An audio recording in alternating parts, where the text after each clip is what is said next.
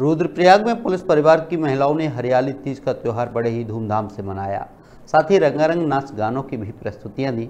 Rudraprayag police परिवार की जिलाध्यक्ष निकिता अग्रवाल की मौजूदगी में तीज पर्व पर विभिन्न सांस्कृतिक कार्यक्रमों का आयोजन किया गया। जिसमें पुलिस परिवार की महिलाओं और पुलिसकर्मियों ने मेहंदी प्रतियोगिता, नृत्य प्रतियोगिता, वेस्ट हेयर स्टाइल और अन्य मनोरंजक खेल प्रतियोगिताओं का आयोजन किया। रुद्रप्रयाग से सत्यपाल नेगी की रिपोर्ट।